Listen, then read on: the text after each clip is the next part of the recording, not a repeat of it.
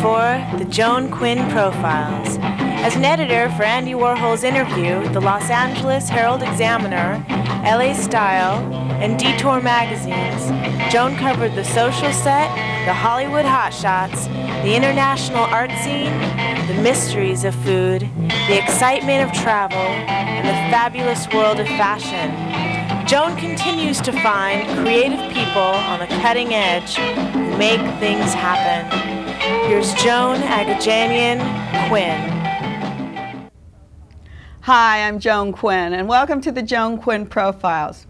Waiting to be profiled is actress director Brooke Adams and writer director Jeff Mandel. You've seen Brooke Adams on stage in the Heidi Chronicles and Lost in Yonkers, in film with Richard Gere and Sam Shepard in Days of Heaven and Invasion of the Body Snatchers, and on television, starring in Special People, Bridesmaids, and the ABC miniseries Lace. Hi. Hi. How are you? Good. Did you come from a showbiz family? Yes. You did? In fact, I Oh, did. tell us about it.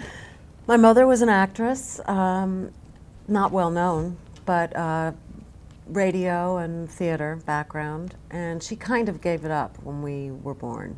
Uh, she performed in my father's summer theater after we were born, though, just, but that was all. And my father was an actor turned producer who produced summer theater and then produced children's theater. Where was this? Um, well, we grew up in New York City. Oh, I see. But my father had a summer theater in Michigan, which is where he was from. Really? a- So you would go back and forth during in the, summer? yeah. We went to Clio, Michigan.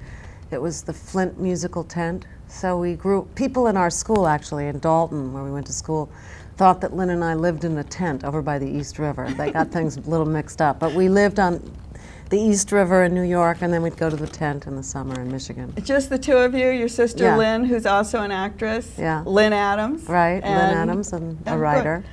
And um, did your mother use Adams as a? Uh, yeah, she was Rosalind Gould Adams. That's great. You've done so much work. You've you've worked from the stage, basically. I can see why. Talking Yeah. about your background, you probably have a greater love for stage I love stage. than film. Love it. Why? What's the difference? Uh, more preparation for stage things. you Um, like that? I do. I love it. As an actress, especially, I feel like maybe um, in other ways I prefer not to prepare so much. I just like to jump off. But as an actress, there's so much. It's so much easier to let go of everything if you've really laid a foundation. And on films, you don't get to lay any foundation. You're just shot out of a cannon, basically. I mean, you you rarely rehearse at all, and if you do rehearse, it's you know a few run-throughs very quickly on the set or something, and so you really are on your own completely, and you have to sort of be totally spontaneous, not planning anything, and I mean it's it's it's very difficult. I think movie acting is harder than th- thea- theater acting. We have a clip of gas, food, and lodging. And does this show how you had you didn't have that preparation, or you you had to be thrown into it? Well, I was thrown into that a little bit, but the fun thing about that part was that I was playing sort of um, Allison Anders, who's the director's mother. And I met Allison's mother and videotaped her and worked on that character for a long time before I did it. So when I did the scene that you're going to show, um, her daughter, not only Allison, but her other daughter, who was a PA on the film, walked out of the trailer. They were so upset because it reminded them so much of their life at home. so it was it was you playing their mother. Yeah. But did you draw? Did you ever act like this in your house? Do you Oh, have never. kids that? I have kids, but never. Of course not. Let's see that clip. You wanna, do you want to? You're a blonde in this clip.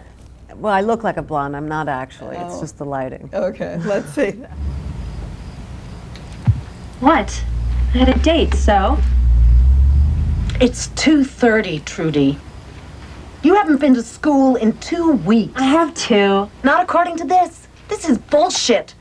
You're going to school or you're getting your ass a job. Fine, I'll get a job. Doing what?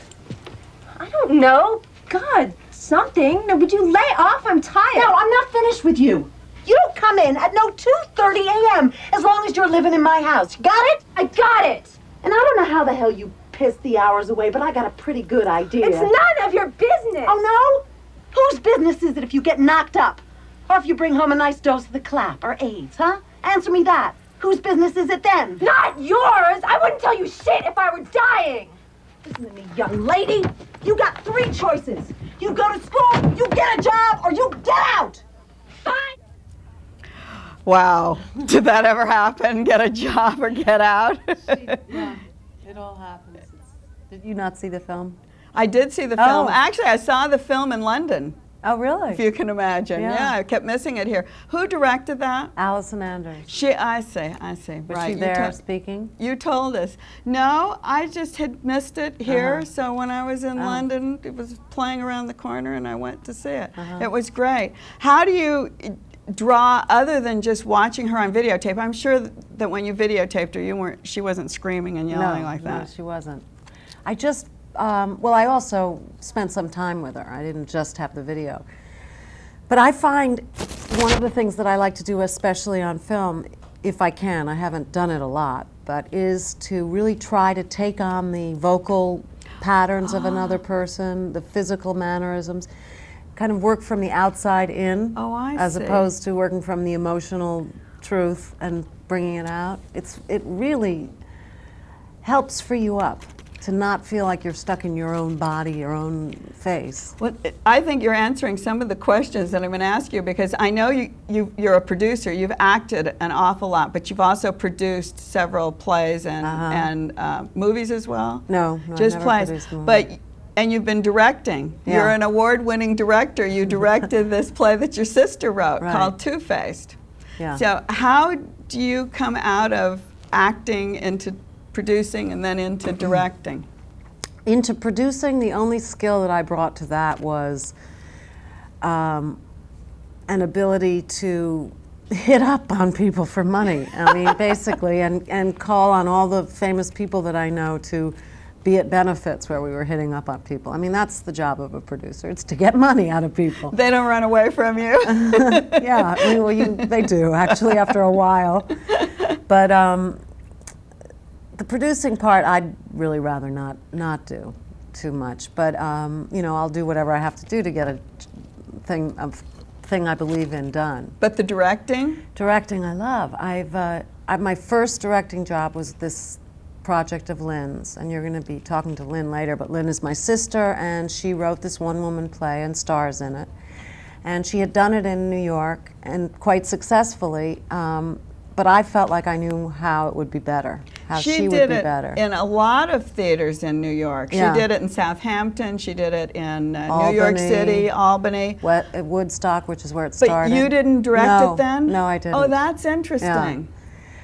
Um, Would you give up acting to direct? I have. oh no, we don't want you to do that. Yes, You're such a I great have. actress. Oh, thanks. Thank you. I mean, I'd love to do stage, but I, I feel like my time on film is sort of over. That's interesting. And I Maybe when I'm much older. The funny thing is, I think Two Faced addresses all these problems that women have, Yeah. whether this is a problem or the maturity of women. Yeah. You want to tell us a little bit about it?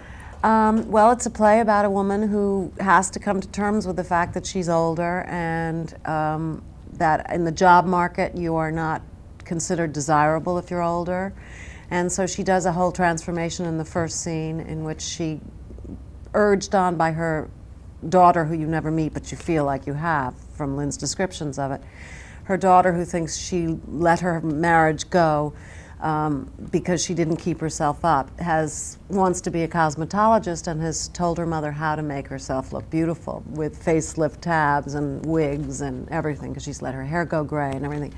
In any case, she does it to finally go out and ask for a job, and she gets the job. And it, in fact, is true that everybody's perception of her changes immediately when she looks much better. You know, cinched in with a girdle and wearing a wig and How did you feel you could bring something new to the direction of this? And was it, I'll let you answer that first, then I'm going to ask you how it felt to direct I your just- sister. I think it's the same question, actually. It's the same answer. Um, I saw Lynn do it, and I just felt like it was a little one note. I didn't think Lynn was doing everything Lynn can do. Lynn is a very talented actress, and I'd seen her, you know, um, done worked with her all my life as a child, and I just felt like she wasn't, she had not really been directed that much. And the woman who had directed it was very supportive of Lynn and had really encouraged Lynn to put this thing on. So I'm not in any way putting her down, but I just felt like I knew Lynn as an actress better than that, and I, I, um, I wanted to draw things out of her. But what happened was she had already been doing it, so she had, and she'd gotten great reviews and everything. So she was pretty set in a kind of a groove of how she was doing the lines and how she was doing the character, and I had to kind of come in and really rip that away from her. And it's very hard to do that You as an actress. You saw it in a different way. Yeah. You saw what she was doing from a different point of view. Mm-hmm. What I of- often wonder is why a one person play needs a director. But I think you're answering that as well. I think it probably needs a director more than anything. Um, one woman plays have particular uh, problems that you have to overcome. I mean, otherwise it's a monologue. You know, I mean, if you can. I mean, Spalding Gray is the greatest in the world, but he just sits at a table and drinks a glass of water, and But you're he's fascinated. directed too. And he's directed He's directed too, and yeah. choreographed, and every move is Right. made to Yeah. work with the audience. True. But I would think that he was choreographing himself, but he's not. No, he's he not. directs himself. Yeah. Uh, what would the future of this play be? Do you see it Movie. on film? Yeah. You do? Absolutely. But could you direct a Yes, film? yes. yes, yes. I'm going to. Uh, I, this is uh, my whole new ambition is directing. I loved it so much when I did the play, and then I thought I'd really like to do movies, but I just I'm not sure that I think visually really yet. So I started taking this class with this man named Jim Pasternak, and it's a four-month class, and you do everything. You edit, you shoot, you do storyboards, you do breakdowns, you do shot lists, you shoot, Things Stop. you didn't know as an actress, or did you know them? I mean, I kind of knew them. I've certainly seen them enough, Mm-hmm. but um, I hadn't ever really just put myself in that head and thought that way. What if, I think now, when you think about uh, a director directing himself as he acts also as the actor, I mean, do you think that's possible? Can you Um, do, could you do that? I don't think I want to. No, Oh. no. I mean, uh, I think it's. It usually shows a little bit. It usually looks like they didn't really have somebody to kind of rein them in. I see. I think that all goes back to one person thinking they Yeah. can know what their material is. yeah, So we're going to see Brooke Adams as a, a director Yeah. from now on? yeah. And, and Lynn and I have also written a screenplay um, that I want to direct, and Lynn's writing the screenplay for Two Faced, and uh, yeah, we want to do it all. So we're going to see the, the Adams sisters Yeah. um, doing their project on the screen, and we're going to be watching for Brooke. Thank you for being Thank with you, us. Joan. And don't go away because Jeff Mandel will be on next.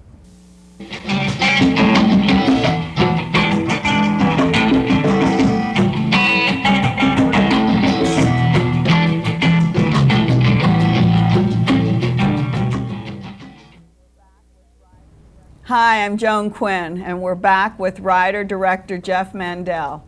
Jeff is a native Angeleno who graduated from the Buckley School in Los Angeles and went to the University of California in Los Angeles, UCLA. He took a long leap from pre med into films. How did that happen, Jeff? Well, it wasn't the easiest thing in the world. I come from a long line of doctors my father, my uncle, my cousins, and it was sort of assumed that I was going to be a doctor. There was no discussion about it. But uh, from the time I guess I was about six years old, while everybody was playing cowboys and Indians, I'd grab my dad's 8 millimeter camera and I'd you know, film film the activity. Oh, you And I, was, did? I made a I made like a little melodrama when I was about six and a half years old on film. I'd be embarrassed to show it now, but uh, But it was always in the that, background. that, that's what I was always going to do. And boy, I went to UCLA and I finished all those pre med studies as a psychology major in about three years with, with okay grades. I mean, I did, you know, I did all right, but I had this ulcer and I had a twitch in my eye. And, and I just, you know, I would come out of class and everybody's going, What did you get on question number six? You know, what? Oh, I couldn't take it. And, uh, and one day I just said, Well, you know, I finished everything. I'm going to take history of American film. Is that and it was all the way up on North Campus. You know, I was in South Campus, the sciences. I went all the way up to North Campus, and boy, I, my stomach uh, settled down, the twitch went away, and I changed colleges from letters and science to fine arts, and uh, my parents never forgave me. Did they forgive you now? They Please they, tell me they- yes. Uh, you know, it's funny. You do you do the thing that you want to do, and eventually your parents come around, and they always feel sorry for the siblings that did what the parents wanted. But when I got my first screen credit, uh, they sort of forgave me. When I got accepted to graduate school in film at UCLA, my father was at this party talking to a doctor and said, uh, "How's your How's your daughter?" oh, she got into so and so medical school. How's your son? He says, "Oh well, you know, UCLA Film School." And he goes, "Really?" My daughter wanted to get in there, but you know they only take one out of 300 or whatever the ratio was, or So something. So he realized, yeah, he realized it was a big deal. He, you know. So, what was your first film credit? Well, my, my first credit was executive story editor on O'Hara. Ah. Pat Morita series on ABC. That's a, I'm, I'm, I'm proud of that one. But then Somebody must have seen it. Then you started writing a series, Uh, well, I, I had. I mean, working on a series. Uh, I worked on different series. I wrote for different series. I think I probably have the highest stack of scripts that I wrote on assignment, got paid for, but were never produced Oh, of anybody dear. anybody in town. and uh, eventually, the last series I worked on was uh, 90, 91. Uh, Superforce with Viacom. It was a top-rated uh, syndicated science fiction show. Ah. Uh, uh, we had some great coups on that show. Jerry Lewis directed an episode that I wrote.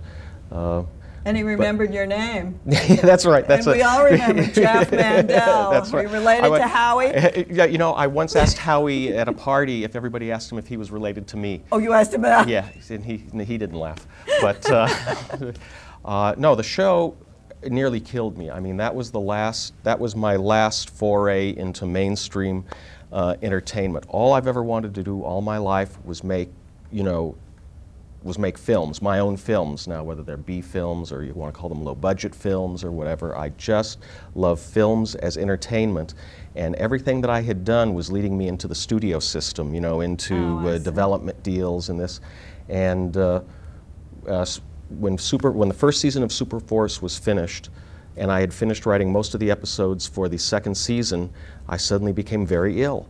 Uh, I was very ill psychologically, I think, as well as as well as physically. But you were physically ill, and Yes, this, it was a near fatal disease that It was- almost I- took over your life. I, I nearly died. I was, I was in Cedars uh, intensive care unit, uh, and they didn't know what I had. I was infected with a bacteria that they couldn't seem to identify, and it was killing me. And my brother, who's a, who's a doctor, My brother's a uh, had doctor. had to uh, go home and tell uh, uh, my girlfriend, she's my wife now, and my family that I wasn't going to live through the night.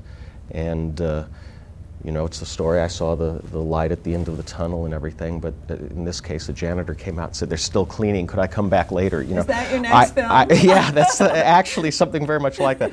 But uh, I survived. What it turned out to be was a rare form of Streptococcus B. Now, at the time, it was very, very rare. Now it's taken on a new name. Oh, that's it's the- called the flesh-eating bacteria. Flesh eating. But I was eating your It, was, it, it went in. It, I, I, all my organs had stopped. My blood. I had a fever of 106, and my blood was sort of destroying itself. It was dissolving in my veins, and it took me about six months to recover. And during the recovery, my wife Steen and I uh, decided that I wasn't going to go back to uh, mainstream entertainment business.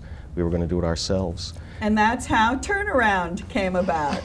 It was a turnaround in my life, and we called the film Turnaround.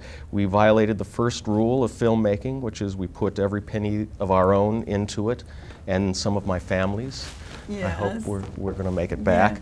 But, Uh, but it was so low budget. It was about a $200,000 budget. it- we, we, we have come in now, it's finished, we've come in just under $205,000. When, when the industry thinks of low budget, they think of maybe 5 million, maybe a direct-to-video movie is a million, million and a Right. half. 800,000 is very low. This was $200,000. but, but Robert Rodriguez, who made his first film in New Mexico, Seventy thousand dollars is what I hear.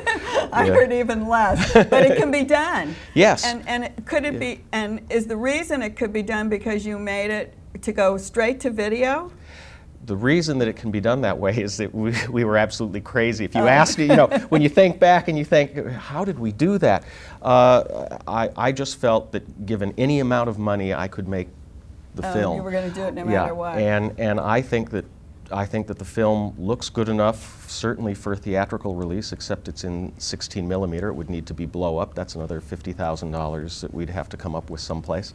But uh, there, the, the film is not hurt technically in any way. We have a, a, an award winning director of photography that worked on it, Baird Bryant, who shot uh, part of Easy Rider. He's got a list of credits as long as your arm. We have some very great talent involved. Were they all your friends? Is that why they came on the project? Yeah, every, everybody was a friend. Everybody had always wanted to work with me because I'd been talking about making my own movie for years, but you know, talk is cheap in this town. Well, let's see a clip from it just so we can see what the quality is. Then we'll go on and talk some more about okay, it. all right. Well, this is coming off a three-quarter inch, so but Tell us what let's see. is. Uh, well, let's take a look at it and see. Well, first of all, this is a this is an action adventure. Let, let's take a look at it. Okay. I told you to stay away from me. Yeah, well, I don't pay attention to that kind of shit. I'm glad. The car's frame got all bent up, and I, I managed to get it back on the road. And I got it started, but I couldn't find you anywhere. And then I heard those shots, and I thought, thought maybe you had died or something. Did you feel bad? Didn't think I could go on living.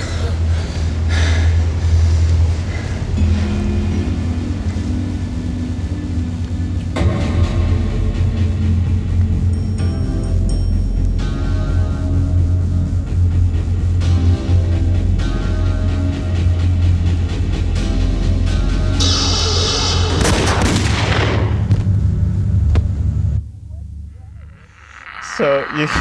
It looks great. Well, what you're seeing is uh, I'm a real pastiche filmmaker. We took a, a screwball comedy of the 30s and we took the most blatant exploitation film that, that you can imagine and we sort of just smashed them together and, and, and this is the result. And this is the school of filmmaking that they follow in Hong Kong. Since the 80s, I've been interested in Hong Kong films, uh, way before it was fashionable, of course. and Uh, you were lucky enough to be able to edit it. well, that's a that's another story. You know, you understand this is money coming out of our pockets. So at every, any given moment, we don't have enough money to go to the next step. And and my wife and I were in the in the editing room, which was our little office, uh, with a Moviola that we'd rented. What films are edited on film anymore? But that's all the money we had, and we were running out of money. We were halfway through the rough cut, and then the phone rings on a Thursday. And it's a friend of mine who had moved to Hong Kong. He says, How would you like to make $20,000 in two weeks? I said, I, That's exactly how much we needed. I said, I'm your man. We were on a plane on Friday. We flew to Hong Kong, arrived there Saturday or Sunday. There's a date line there somewhere.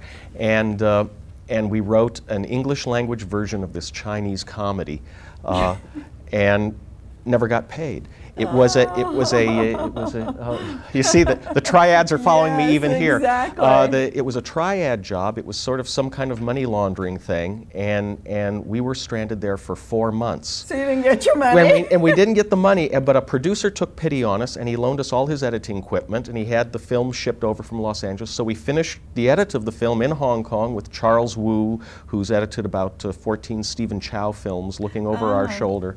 And, uh, but what the Hong Kong filmmakers do, and I'm not talking about the obvious John Woo and Jackie Chan, is, but, is they just throw everything, including the kitchen sink, in.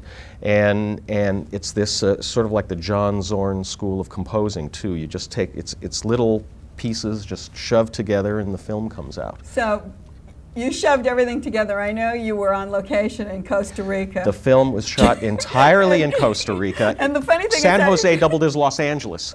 That's and I think it's funny because you kept saying I'm with sneaking shots. So when you talk about throwing everything together, I'm sure you were throwing your sneak sneak shots in there too. Well, it's funny. I don't know who. San Jose doubled as Los Angeles. Yes, you know, Why not the- Rio de Janeiro uh, doubling as Venice Beach? It, it's funny. Uh, maybe Brazil would have been a better choice because they have it's much larger and they have the rainforest, and being lost in the Right. rainforest is one of the uh, elements in the film. Right, and I was Uh, just down there. I was just in Rio at the Copacabana Palace on the beach and Ipanema and, and Copacabana Beach, and then all the rainforest. So when I was watching your film, I was thinking, this he could have been here just as easily. Well, the, the thing of it was is that the second Costa Rica. This is this is a film that's been touched by the the Cosmic Coincidence Council or Just like somebody. our lights I- going out yeah, you know, the second Costa Rica came out of somebody's mouth, and for the life of me, we can't remember who, whose it was. Suddenly, people started popping out of the woodwork. Uh, a, a friend of my father said, "Oh, I built a clothing factory in Costa Rica." Uh, a fellow that I'd worked with on the series, O'Hara, said, "Oh, my father's moving to Costa Rica." Uh, a, f- a friend calls from Palm Springs. I'm here with some people in Coast, from Costa Oh, Rica. so Would you it like? was a- it was it just was this magical thing, and we just and we went down there, and and Costa Rica is a is a beautiful country. The East Coast and the West Coast are only about three hours apart. We were able to base ourselves in San Jose, shoot all the urban scenes we wanted, shoot up in the mountains, shoot in the rainforest, and never be longer than an hour and a half out of San Jose, which is great when you've only got three weeks to shoot, 18 shooting days, and uh, you can't go back to any location. You can't afford to drive to a location because it takes too much time. So you did a really, that really helped you on your budget. Yes, yeah, and, and also the prices down there were, were pretty good. Uh, the crew didn't speak very good English, and that was a problem at times, and it took us a month to sync things up because the slates didn't make any sense. But uh, that's just one of the prices we paid for the beautiful uh, exotic country. But you had a great star, Steen. My, my wife uh, ha- has always wanted to be a singer. And I said, if you will star in this film for me, I'll put your songs in the film. And she, she was very instrumental in the script. She was very instrumental in the script. It fit, the star of this film is, it's, in fact, it's a switch on the usual exploitation genre because the women are all the heroes and all the bad guys Right. in the film. And, uh, and she wrote, uh, she wrote from her heart. She wrote some great scenes and some great dialogue. It was a beautiful collaboration. I'll be collaborating with her on the next one. We're collaborating now in the selling of the film. That's what's going to be great. And we don't have time to hear about We selling. don't. No, we don't have time Let me just say very quickly, that. we're bypassing the, the mainstream, we're putting it right up on the World Wide Web and we're selling it directly to the people. Oh, that's- All you have to do, uh, we'll be up there at the end of June, uh, beginning of July. All you have to do is take your little search engine, whether you're directly on the web or on American Online or Prodigy, just search Turnaround, which is the name of the movie, Yes. and you'll find our page, Good. and we're, and we're selling it directly. No involvement from executives at studios. And, and we'll put the Joan Quinn profiles on the internet too. Thanks for watching us today. Thanks, Jeff Mandel. Thank you for inviting me. And keep writing. You'll see the uh, address at the end of the show, and we'll see you next time.